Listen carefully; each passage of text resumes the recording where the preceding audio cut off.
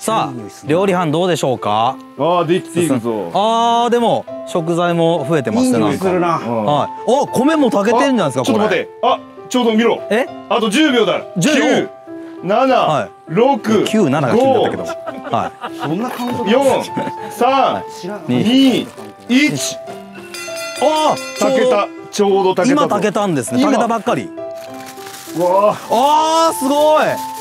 美味しそう。さあ、蒸らして蒸らして。蒸らして。蒸らすぞ。あいいちょうどいい。あーいいいいお米だ。あこれもうこれわかるからあのこのえ？これを お米をこうやったらあーほんとだ。いいお米ってわかるだろ？はい。わかるだろ？わかるわかる。その食欲そそりどういう混ぜ方なんだそれは？いや、切った方切った方がいいのいかやそうだけど。お、いい。あ、まあちょこっと。まあちょこっとここういうのが結局一番うまかったりするまあねキャンプとかこういうね、場所で食べるのが一番美味しいですから。あれうわうまそううま これはうまいなめちゃくちゃうまい。こういうのが結局幸せだったかするからななるほど。じゃあセルさんの料理は卵かけご飯なんですね。正解なわけねえだろうブレああ、ボケなきゃよかった。いや、うまっ。あさっきこねてたパン。いや、汚いな、ないんかおい。見てこれほら。きた、え？ちょっと膨らんでんだよ。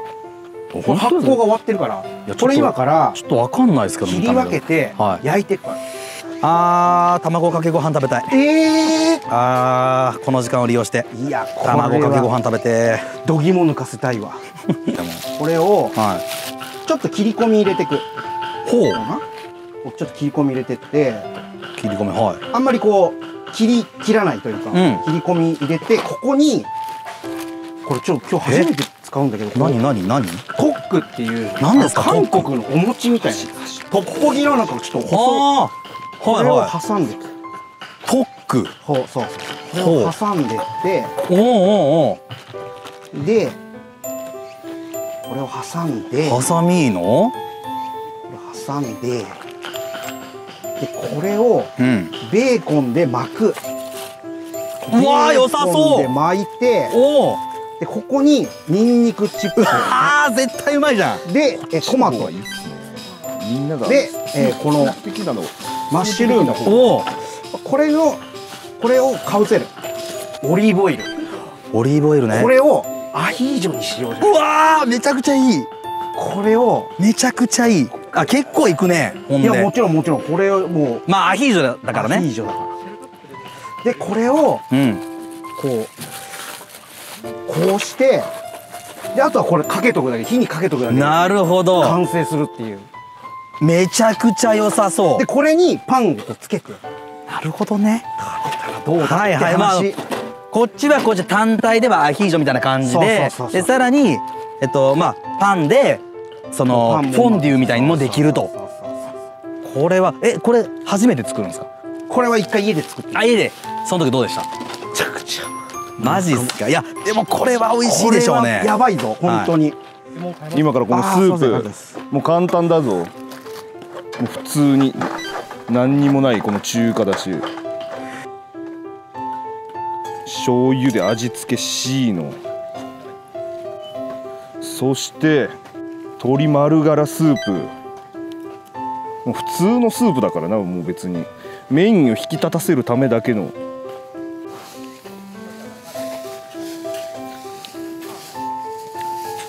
うん。あーうまい。あーうまいな。うまいうまいうまい。十分だ。これに溶き卵を。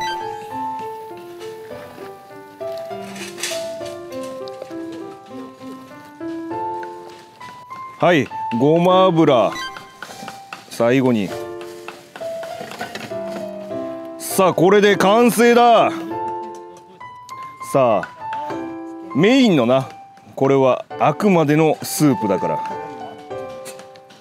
ということでスープ中華スープ。完成だ。ブルオッケー今パンを焼き始めたんだけどちょっと弱火でアルミホイルで蓋しながら。でちょっとひっくり返してほらこの焼き色いい感じでついてきたの。これをもうちょっとこう蒸らしながらパンにしていくから。これいい匂いもいいな。うん。じゃあ次の料理なんだけどちょっと焼きそば。をこう宇都宮焼きそば。これを焼いてちょっと定番のものを作っていこうと思うんだけどちょっとこれ今日ホットサンドメーカー。これで焼くかなっていうのをちょっとやってみたいと思うんだよ。こんな感じでっとなんか。焼きそばに焼き目が。これついてきてもうちょっとパリパリにやって片焼きそばぐらいにしてやろうかな。まずは白菜を入れてきくらげ人参あとうずらの卵も入れてこうかな。でこれちょっと炒めて。で栃木未来豚。これも入れて。でスープ。中華スープ。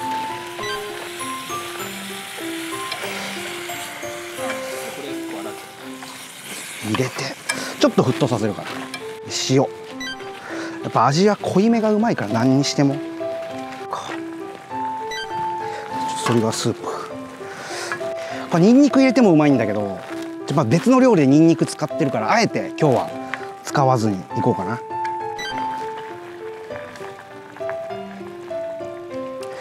でこれでとろみをつけて仕上げにごま油。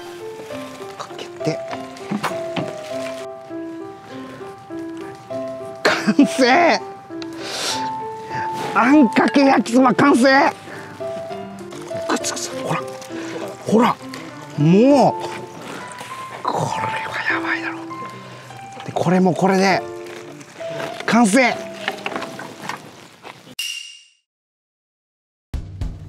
さあということでテントの設営完了です見てくださいブーさんセルさんどうですかこれ？すごい。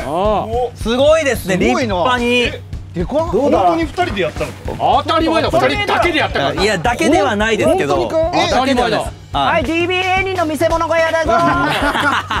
やめてそんな呼び込み。はい中でやってるよ。呼び込みやめてくださいはプイプイの部屋となっております。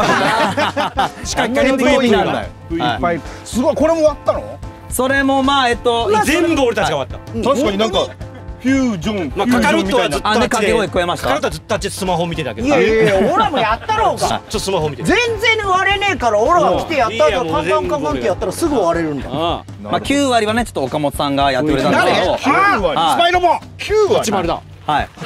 スーパーヒーローのやつね。でこれじゃちゃんとなあはい。のなんだかんだピンとなってるよな。そうそうそう。あのセンターポールもね全部ちゃんと野沢さんやりましたしやった方がなちょっとまあずれてるかいやい。やいやいや。まあいやのないいのよあの心臓部のセンターポール？はい。あれは俺らが立てたから。そう中のね。はでこれチャオズが入ってるなここにな。いいや入ってませんよ。ちょうど遺体がこはい。う入ってませんから違いますから。入ってんなこれ。そこからカプセルで。読みゲール。クールチャオズ。なんかなんか麻雀卓みたいになってるな。いや 麻雀だっけいや例えよ。であっちが寝室らしいなあっちがなちゃんとね寝室はちゃんと地べたにならないようになってるということで。リビングだから 2K 2K だそう 2K だこれ亀仙人の修行の時にあー持ってたそうだなこ牛乳。れいやいや ぽいけど違うんですよあと、亀クロノトリガーでなんかこういうのがあったの。ある。けど。クロノトリガーまあ一応鳥山先生のねでキャラデザですけども。はいさあということでまあテントはねこのように見事立派に完成しましたけども。危ない燃える燃えるぞはい危ない今ちょっとねこちらで火起こしだぞ火今起こしてる。火を起こしてるから。薪にね火をねくべてるんでこちら。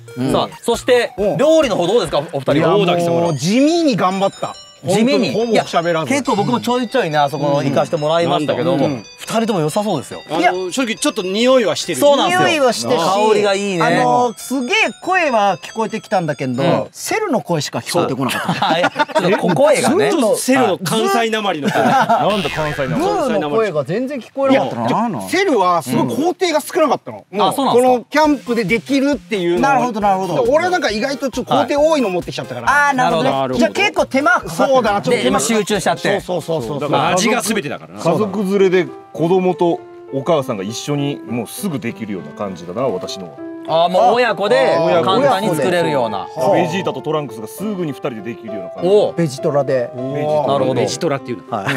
一方ブーさんは料理まあでもそんだけね手の込んだものを作ったということなんでまあ自信の方は。そうだな、はい。喜んでもらえると思う。お前らが好きそうな味に仕上げるあー本当ですか。俺たちの好きそうな味をなんで知ってるんだ。確かにね。もうなんかもうよく飲みに行ってる感じだろお前なんだお前言ってねえよちょこちょこもうすごい。わかるわかる。大体の40オーバーはそういうの好きだなって。なんだお前バカにして80るオーバーだすごいでしょバカにしてるんか。い。やご本人さんはね。なんかやっぱ年が若くないから、私もう肉には気をつく使って、ん。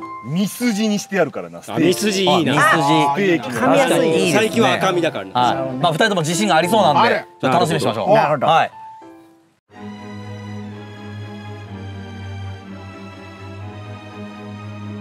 フリーザとマロニエールの惑星栃木会議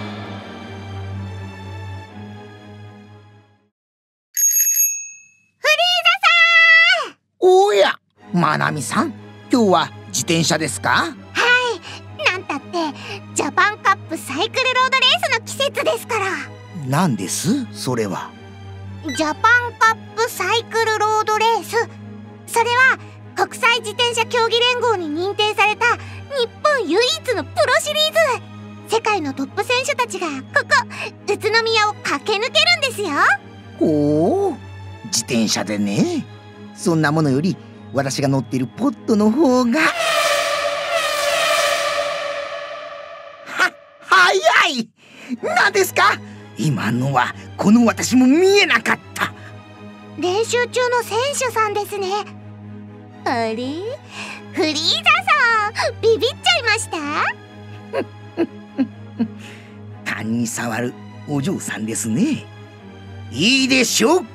あれほどのスピードが出るのでしたら私も自転車とやらに乗ってみましょうか。世界のいや宇宙のトップ選手になってみせますよ。まなみさんトレーニングメニューを言いなさい。その意気です。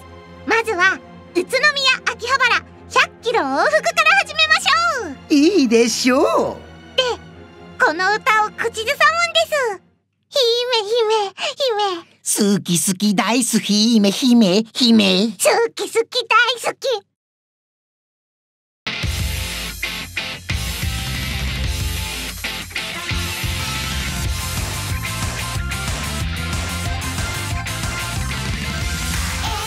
さあでは料理が完成したということで。はいちょっと。もうすぐこの玉からチーズが出てくるよ。今ベジータなんて言った今。あなん何も言ってない何も言ってない。今パーフェクトランチだ。ペッパーペットランチ。美味しかった人はせーの。戦いだけどなんか結局あいつらにうまいもん食わしたいみたいな気持ちまあ、それあるよなはあるな。別に負けてもいいからあの勝ち負けとかよりも、あのあのいつもツンツンしてるベジータが「うめえ」っていうあのちょっと喜んだ顔を見てみたいな。